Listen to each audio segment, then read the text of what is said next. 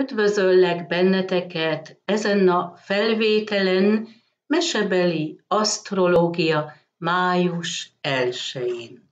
Az asztrológia tudása mesebeli képekkel. Örülök annak, hogy már nem egyedül vagyok ezzel a témával, mert a Tudatkulcs táró csatorna átvette ezt a témát, és ezt én szépnek tartom, hogy, hogy másokat is inspirál a mesék világa. És most a mai napon mi történik, mit mutatnak a csillagok. Ami a mai napon nagyon fontos, és tényleg kihat az életünkre, ez egy Merkur-Uranus konjunkció. Az azt jelenti, hogy ez a két bolygó találkozik. De van egy különbség az indiai asztrológia között és a mi asztrológiánk között.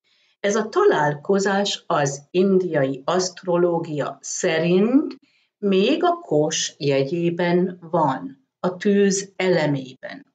A mi asztrológiánk szerint viszont a pika jegyében a Föld elemében. Ehhez azt tudnunk kell, ha ők találkoznak, akkor együtt hatnak.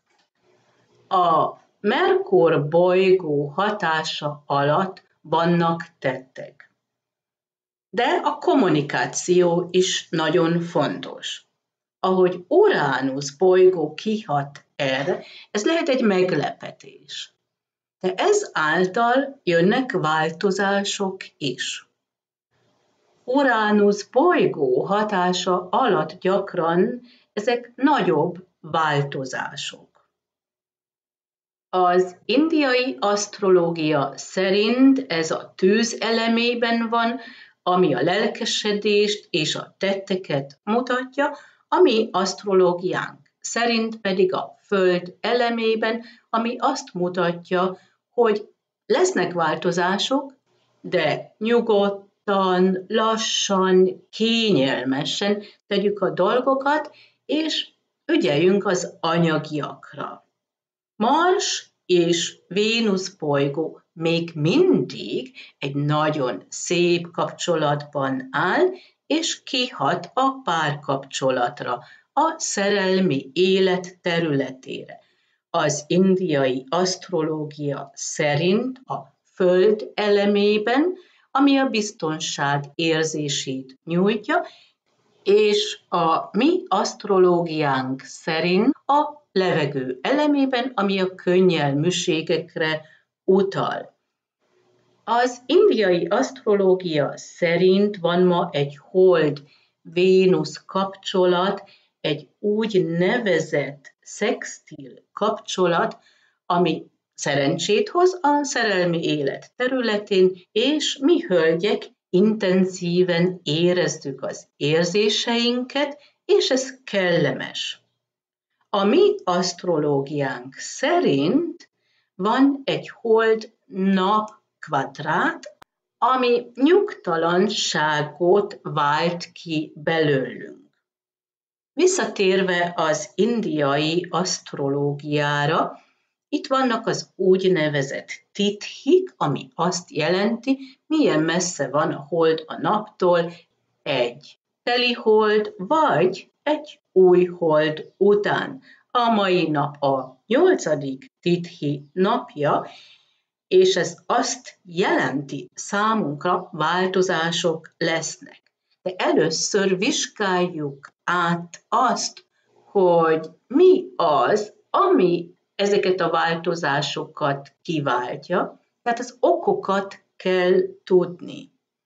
Mondhatnám úgy is, hogy pillancsunk be a mélybe, és vizsgáljuk meg a dolgokat.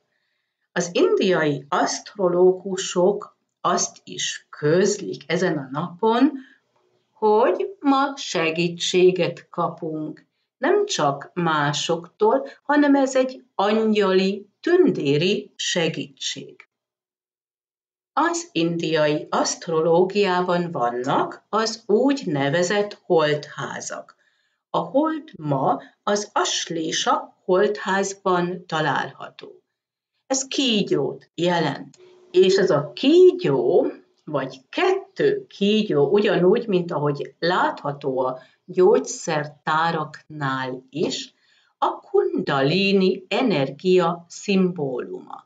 Az egyik kígyó akadályoz bennünk, mert az félelmeket mutat. A másik kígyónak van gyógyító hatása, és átvisz bennünket egy más érzelmi világba, mégpedig felszabadít a félelmektől, és adja a lelkesedést, a szeretetet, a hőséget és a megbízást.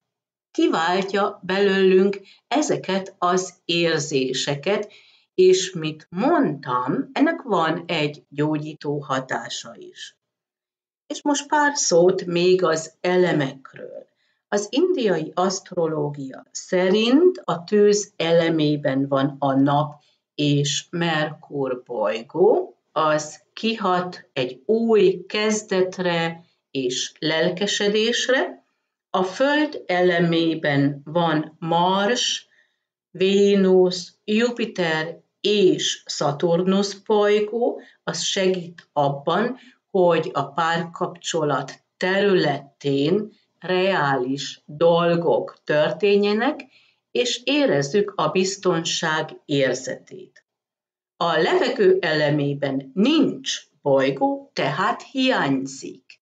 Viszont erre szükségünk van, hogy mindazt, ami eddig nyomasztott bennünket, azt hagyjuk magunk után, és lélegezzünk fel, azon kívül közöljünk valamit, amit mi mondani szeretnénk, félelmek nélkül, mert annak nyomasztó hatása van. A víz elemében található a hold és a mi bolygónk. Tehát erre szükségünk van, nem csak a levegő elemére, hanem a víz elemére is, és az mutatja az érzéseket. A mi asztrológiánk szerint a tűz elemében van a hold, az oroszlán jegyében, ez mutatja a lelkesedést és a bátorságot, a Föld elemében van a nap, Merkur und Jupiter bolygó, az annyit jelent, oda kell, hogy figyeljünk, ez nem csak a tettekre vonatkozik és a reális dolgokra, hanem az anyagiakra is. A levegő elemében van Vénusz, Mars és Szaturnusz bolygó, ez adja a könnyűséget, és a víz elemében nincs bolygó, illetve a mi bolygónk, a Föld, ami azt jelenti, mire van szükségünk. És ez nem kívülről jön, hanem mutatja, hogy ez fontos a jelen pillanatban, a víz eleme, tehát az érzelmek. Érzelmeket kimutatni, de azt át is venni. És ez volt a mai mesebeli asztrológiám. Köszönöm figyelmeteket a viszonthallásra!